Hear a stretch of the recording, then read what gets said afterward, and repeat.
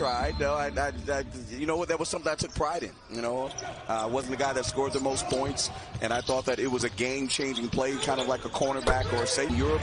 Or would you, you know, take a chance and put your name in the draft?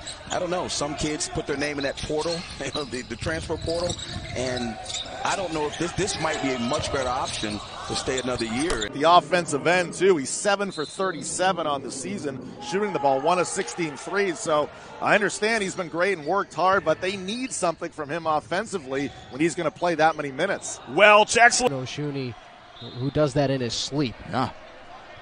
Again, one of the top 21 shot blockers in the country early on in this season so far.